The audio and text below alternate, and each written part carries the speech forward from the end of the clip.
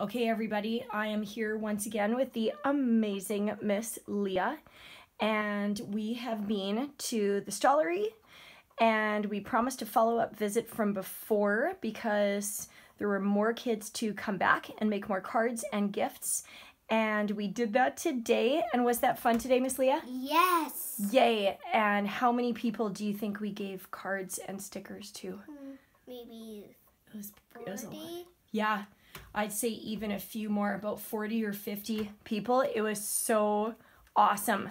And look, everybody, our basket is almost empty. So today at the beginning, that was full, full, full, and Leah's made all kinds of cards for everybody and stickers. So, are you excited to go back and do it again? Yeah.